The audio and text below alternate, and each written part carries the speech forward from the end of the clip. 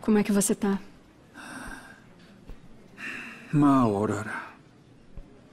Eu não acredito no que a Aida fez. Ela queria que essa criança morresse. Calma, Mariano. Eu tô me sentindo muito mal. Pela esperança e.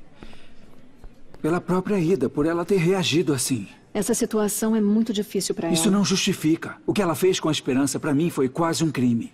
Você falou com a Ida? Disse isso a ela? Sim, mas é claro que eu disse. E agora acho que nada mais é possível entre nós dois. Eu sinto muito. Eu também, Aurora. Mas não podia fazer outra coisa. Me sinto. Me sinto preocupado pela esperança e decepcionado pela Ida. Lo